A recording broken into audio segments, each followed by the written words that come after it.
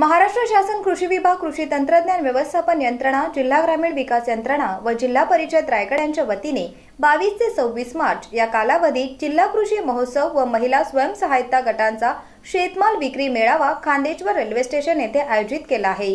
या कृषी महोत्सवामध्ये शेतीविषयक विविध नाविन्यपूर्ण उपक्रमांची माहिती देण्यात येणार आहे. प्रदर्शन व विक्री कृषी तंत्रज्ञान परिसंवाद व चर्चासत्र आदींचा समावेश आहे.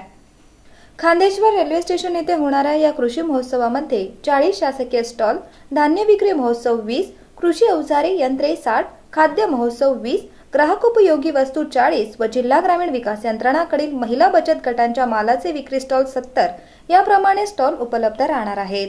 शासकीय स्टॉल चाळीस व शेतकरी गटाकरिता शेतकरी यांच्याकरिता धान्य विक्रीचे वीस स्टॉल महिला बचत गटांच्या मालाचे विक्री स्टॉल असणार आहेत.